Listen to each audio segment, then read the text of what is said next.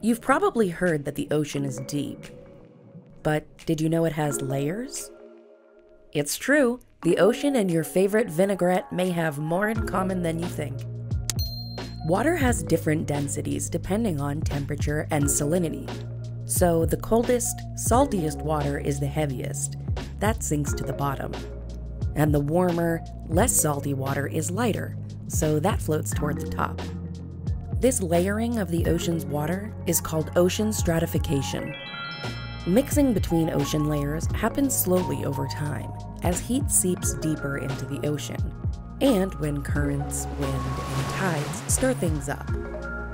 As global temperatures rise, the ocean is getting more and more stratified, meaning the difference in temperature between the warmer surface water and the colder, deeper water is growing.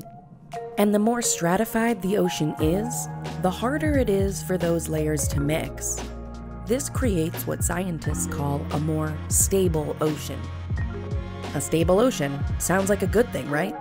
But it turns out, not so much. The more stable the ocean, the harder it is for nutrients to travel up from the deep to the surface. And those nutrients are so important because they feed all kinds of life in the upper layers of the ocean.